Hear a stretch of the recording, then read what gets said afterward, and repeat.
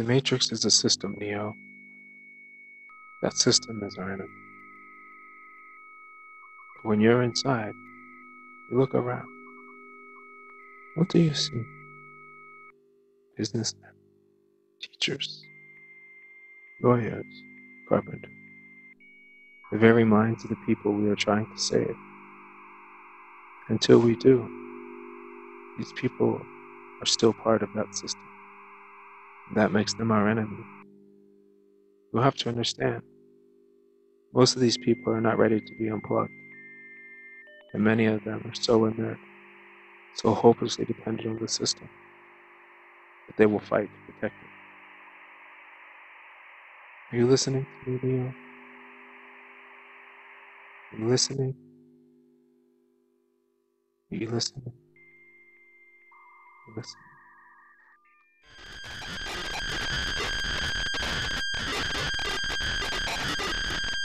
Welcome to Nuance. I am your favorite contrarian, Michael Wood Jr. Well, I actually don't view myself as a contrarian, but I have been called that. I guess that is still uh, fairly tame in this era where critical thinkers are eventually going to be labeled uh, an alt right Nazi racist. Anyway, you who is listening right now, yes, you, seriously, you are a rare breed. Unless you are one of a handful of hate listeners who just can't get enough of wishing they were more involved in my life, then you are a truly unique individual. You are clearly on a quest to learn and challenge not just your beliefs, but also your way of identifying in life, your own identity. I believe in ending oppression and finding solutions to improve society for everyone. The foremost barrier to discovering purpose and truth is our own biases and ignorances.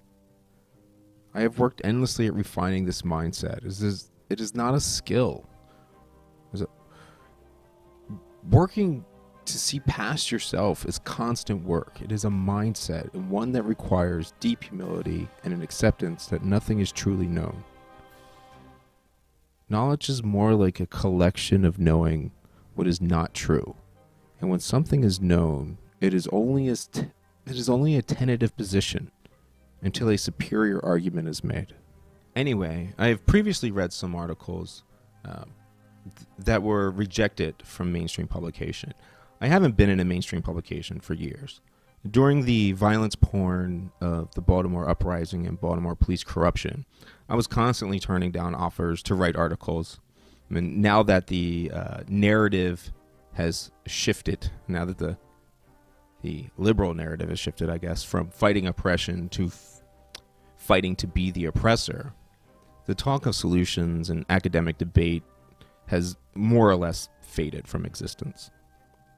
I guess the good part is is that we won't have my words butchered by an editor with an agenda and we can do video and podcast presentations without fighting with publishers about what I am going to do with my own damn work. So I will do this for all of my non peer reviewed articles, and I thank you immensely for being here. Uh, hopefully, it helps in some way. And if you want to help, please just share the videos and share the podcast on as many sites as you can, as many services as you can. As many people who are involved in the discussion makes the discussion better. Thanks.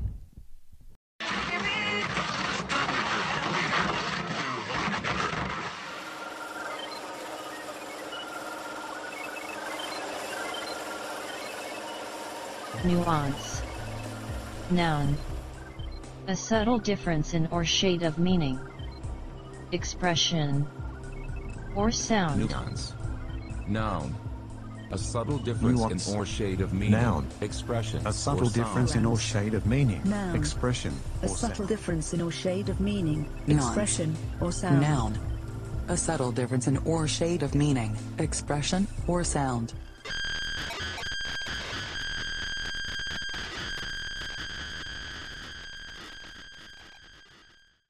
Let's clear the air on the Electoral College, equity, and capitalism. The truth behind a narrative of American tribalism. Every so often, the media floods people with tense arguments over the Electoral College, and 2019 is one of those times. Two other divisive narratives that circulate around are of the virtues of capitalism and the use of equity. If there was only one lesson to be learned from Russiagate, it was to be wary of media narratives. The discussion around the Electoral College, capitalism, and the concept of equity is another example of media manipulation. With seemingly no other purpose besides keeping the demonization of others as the enemy, these topics are presented as incompatible. However, they are deeply connected and require each other, just as America requires them. The most varied and corrupted of the three topics is equity, making it an excellent place to start. Time spent in the library will give the general idea that equity is the quality of being fair and impartial in a process. Beyond the scholars, equity has become integrated with law to communicate fairness and justice over vengeance and punishment through fixed principles that apply to all. Social media presents many with a biased view of equity as explained by a common meme of three people of various heights attempting to look over a wall. Though this meme is misrepresented as evidence to confirm a preconceived narrative, this meme is a relatable way to understand equity when placed in context. The equity meme. There are various depictions and evolutions of this visual meme. For clarity, three people stand with their backs to the audience with a wall in front of them. One person is short, one medium, and one tall.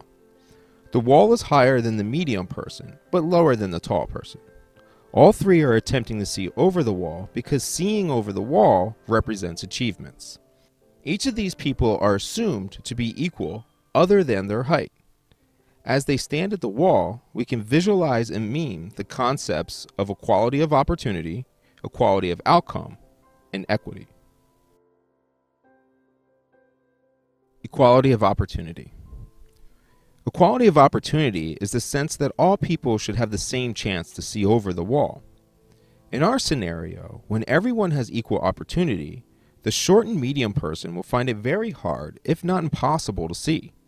Since the tall person was born of greater height, they can wonder why the short and medium people are complaining about the tall person's successes, especially when no one is actually stopping them from seeing over the wall. The short and medium people can develop resentment towards the tall despite no acts of oppression being committed by the tall. In humans, inequality is a leading causation for war and violence. When equality of opportunity begins from an unbalanced start, then in practice, inequality of opportunity is assured. Equality of outcomes. Equality of outcomes is the idea that each of those people should be forced to have the same achievements. Our scenario is set up to optimally represent the foolishness of seeking equal outcomes. The only way to achieve identical results is to distribute height evenly by taking from the tall and giving to the short, leaving only medium heights no one is able to achieve or succeed. There are ways of presenting a utopian view of equality of outcome, but even when things work out, it always carries the danger of chopping everyone down. Equity. Equity provides a solution to the equality conundrum. Equity says that the maximum benefit is found in having the tall see over the wall and achieve. Imagine that on the other side of the wall are the instructions for building boxes for people to stand on. The tall can then see over the wall to make a box so that the medium person can see over the wall. Then, with both the tall and the medium person being able to see over the wall, they can build a double tall box for those short in height. With the medium person standing on a medium box and the short person standing on a tall box, everyone can see over the wall. No one was taken from, and everyone can now contribute to achieving successes. Equity includes the creation of getting everyone over the wall. Those who are achieving are making the boxes of equity, which the short and medium people stand upon. This aligns with a sense of justice rather than power obtainment. Hopefully, the superiority of equity is made apparent. The misleading of the well read and ignorance of the unread have led many to believe that there is some contention over this topic and the most beneficial solutions for society. An American institution of equity. Equity is found throughout American government in ways which benefit every one of us in some fashion. Life, liberty, and the pursuit of happiness for all Americans was the categorical imperative during the formulation of the American government.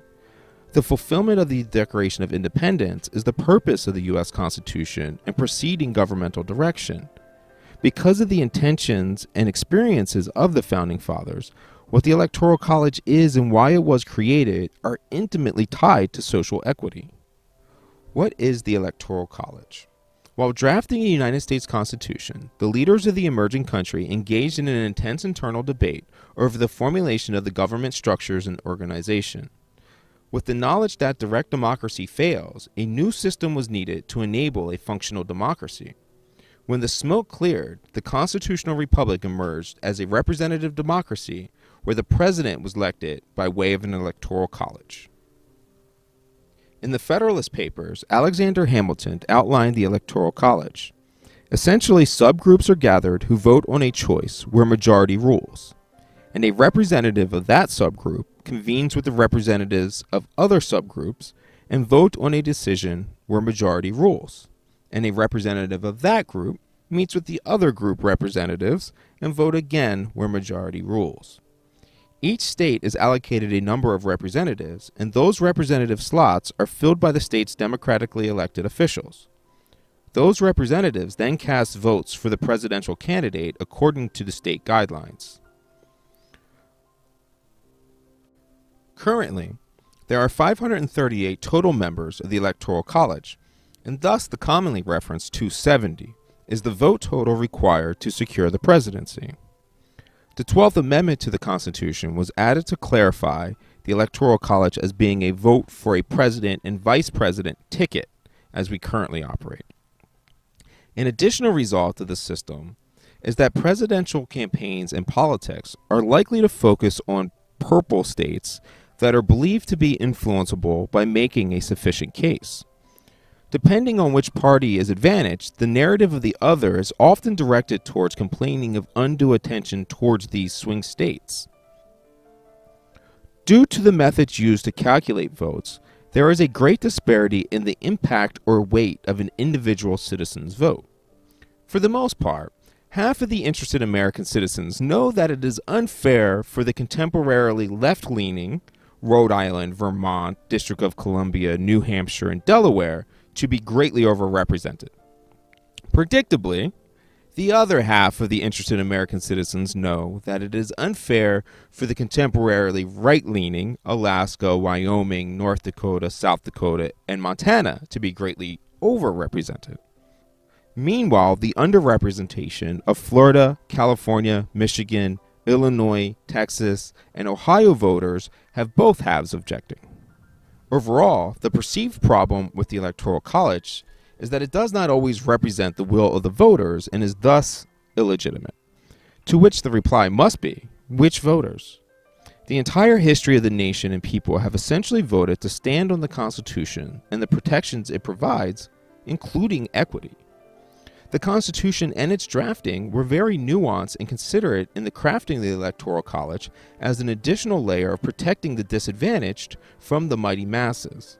An example of the protections in the Electoral College is the infrequently brought up truth that the Electoral College recognizes the District of Columbia's disenfranchisement in the Senate and House of Representatives and restores their vote in presidential elections. And somewhere between what the Electoral College is and why the Electoral College is resides another manipulated aspect of the Electoral College. The Electoral College is where the three fifths concept comes in for slaves. Far too many have been taught that the Constitution labeled slaves as three fifths of a person. The belief that the three fifths concept extends to rights or race is also inaccurate. In reality, it was only for the votes for the Electoral College where slave states received an additional credit of three citizens for every five slaves. In effect, this gave slave states more voting weight. In effect, this gave slave states more voting weight, and that is a rational comment on the historical aspect of the Electoral College. These critiques contributed to the changes that have been made to improve the American system and why that issue no longer exists. Why the Electoral College? Clarity matters in organizing a stable government. One of the reasons the founders agreed upon the Electoral College was that it made more secure and manageable elections, such as recounts being sanctioned off into jurisdictions. Imagine a national recount. It would take longer to reach a consensus than the four years of a presidential term. Additionally, since states define the voting qualifications, national clarification is found in the state voting as a group. To achieve life, liberty, and the pursuit of happiness, the Electoral College provides a system of equity generation when used in political elections. Seeing over the wall with the electoral system is building boxes to elevate underserved Americans. The rural life that creates and distributes the life bread of our people, food, energy, and water, is underserved in the discussion of policy and politics. Not only are they the short people in our equity meme, but their seeing over the wall is the most important achievement for anyone to see over the wall. The narrative and concerns of the urban peoples will justifiably not understand the impact of some policies on the rural people and themselves. With systems based on equity, the distribution of elevation, the boxes, shifts to the societal issues of the time. It will not always be the urban, suburban, rural paradigm. The importance is in the systems and institutions creating the means to elevate the silence, which the Electoral College does. The Principled American. Americans have demonstrated difficulty with extrapolating the micro to the macro. This truth revealed itself in a common argument against the Electoral College that swing states dominate the discussion. Of course, this is true, but in an equitable electoral college, all you need to do is convince your neighbors. Convince enough neighbors, and your state becomes a swing state. In a direct democracy, the suburbans and rurals must convince complete strangers thousands of miles away with very little apparent commonalities. In effect, there is no reasonable pathway to making Chicago, Baltimore, Los Angeles, and such break out of their limited exposure and have swing potential under a direct democracy where the media and information are dominated by the interest of the urban areas. Of no coincidence, this is precisely the result in the direct democracy of clicks and views in media advertising. The right. If the right were principled, it would see the benefits of applying equitable systems like the Electoral College. The leaning on law and order is essential to a modern first world nation, but the commitment to that societal contract must be as principled as the beliefs of the founding fathers and the great Americans who created what is very likely the greatest nation ever. Equity was argued to be a necessary component of our constitutional republic. Is the American right now turning its back on the constitutional principle when it's convenient? If the vice of manipulation is avoided, all could see that equity and the Electoral College are ways to elevate others while doing no harm to yourself. Even science says this perspective shift can change everything. The left. The overwhelming reason why the Electoral College is being discussed is due to the perception that the outcomes have been harmful to the left. If the left were principled, it would have been vocal about the Electoral College when the 44th President of the United States of America enjoyed a 32 vote advantage from the Electoral College against Mitt Romney. Equity has worked for the left, but it requires something challenging to acknowledge. Capitalism is very much in alignment with equity. Capitalism needs great successes to bring up as many people as possible, not in the juvenile trickle down argument but instead that capitalism enables equity. Think about the opportunities created for people by modern internet access. Yes, tall people may get taller, but the tall make the boxes for the short to achieve. There is no equity without the tall. The people are not equal in the objective value of height. The left must recognize that not all people are the same.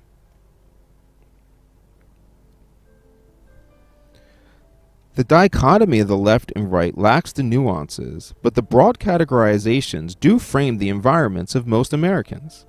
Despite the influences, all citizens of the Union can step back and rationally approach emotionally intense topics. For example, equity requires recognizing individual merit. The people with individual merit are a necessary prerequisite for equity to be possible. They are the tall. Additionally, Americans must ask if the media has earned the public's trust, if the limited perspectives and blinding caused by tribalism are worth it, and if credible principles are being followed. Misapplications. Equity is a principle, and the most straightforward test to see if your ideas are principled is if you still believe in them even when they go against your personal benefit. The principle of equity is for the sake of that process, not for a particular outcome outside of what is best for the country. Earlier, it was noted that equity must be based on objective measurements. The left taints equity through their public narrative of ignorance when they apply equity to subjective measures. Equity applied to individual concepts is no more than a tyrannical power grab. Most commonly, this is displayed in the negative results that have occurred when equity is misapplied as a way to rectify past issues, as well as on subjective measurements such as race and ethnicity. Equity is really about balancing current issues and not pushing people over the wall, but enabling achievement. Socially constructed and subjective terms change throughout time and depending on influence. Those with the power of controlling the definitions are unavoidably incentivized to continually redefine the subjective terms until no one deserves advantages except for them. The redefining of subjective terms by the powerful has long been a trick to fool the masses. Before long, it will be believed that rich people with multiple houses, elite educations, and slick tongued doublespeak, born tall, represent the interests of the short and medium backbone of America. Many on the right have heard the term equity described as being un American, unconstitutional, anti capitalism, and a far left communist ideal, all of which are quite far from the truth. The facts are that the founding fathers and the concepts that fueled the understanding of checks and balances in government are equity. The contemporary topic demonstrating this is the Electoral College debate. The Electoral College is equity in governmental action, and the right is, justifiably, proud of it, as all Americans should be. Further discussion. All said, it would require a constitutional amendment or backdoor, such as the still strengthening National Popular Interstate Compact, the NPVIC, to replace the Electoral College. The replacement proposals are thin and mainly center around the purposely avoided direct democracy. A vote from popularity was a great fear of the Founding Fathers, and the nation is already awash in the complications of another. There is nothing which I dread so much as a division of the Republic into two great parties, each arranged under its leader, and concerting measures in opposition to each other. This, in my humble apprehension, is to be dreaded as the greatest political evil under our Constitution. John Adams, in a letter to Jonathan Jackson. Democracy is not just a logical fallacy, the argument from popularity it is also a justification for tyranny. There is no exaggeration in the colloquialism that democracy is two wolves and a lamb voting on what is for dinner. And if you claim to be a member of the oppressed, you are claiming to be a low power lamb. Of important note is that a significant component of the Constitution is interstate relations and policy between nations the maintenance of which is primarily conducted by the President of the United States and the executive branch. In the basic design of the Constitution, the President is supposed to be a nationalist who represents the interests of the states, not the people. The argument has been presented that the one person, one vote concept applies to the presidential election. Again, this argument misunderstands the American government. The Constitution is not just for the people, it includes the branches of government and necessary institutions. The people are represented by state representatives and the communities as divided by the organization of the states. Part of the purpose of a state is for subgroups to assemble governments to manage like interest societies within the American Compact. The people are casting a vote for their electoral college members to consider the people already got their one person, one vote when they elected the representative. The total popular vote is nothing more than a talking point for media to get your eyes and ears to feel you have somehow been wronged. Is the states who select the representatives on the Electoral College. It must be made very clear that the president oversees the union, not the people. The states within the union have power in measures of sovereignty. The national voter registry that would be required for a federal popular election is the establishment of a whole new set of rules and requirements that break down well considered protections for America. The immense privilege of being American exists in part because of two important principles. Those two intentions of the U.S. Constitution were to temper populist influence and establish the equitable prioritization of the most important stakeholders. Equity is essential. Yes, campaigns focus on the purple or swing states, but each American freely chooses in life, liberty, and the pursuit of happiness whether or not to play an active role in which states are subject to swing.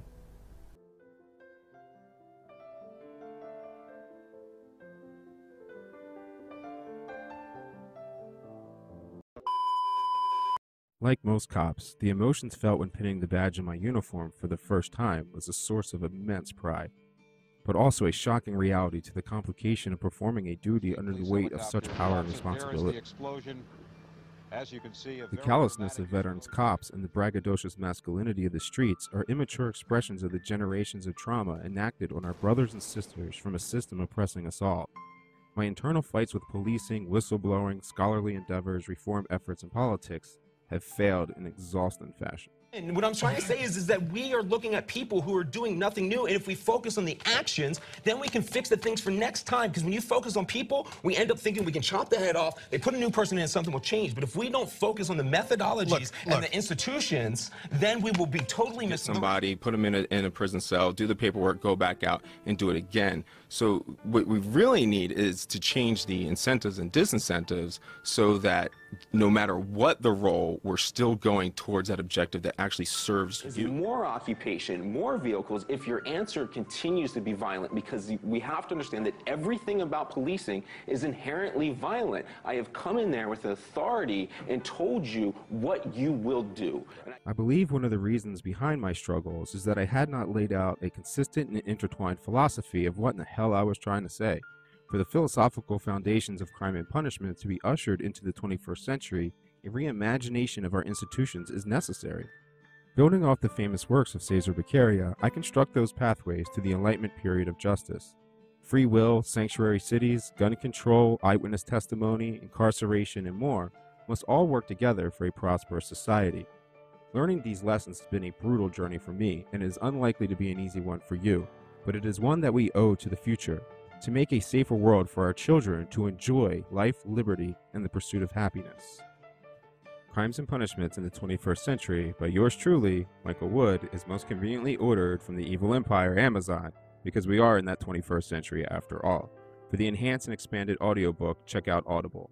In the meantime, the philosophical half of Crime and Punishments, all 40 some chapters and then some, is being presented as a free podcast from iMember Media at imembermedia.com and will be available on all major platforms and direct from the publisher. Pause the video or see the links in the notes and prepare for the challenge and adventure of self critical thought.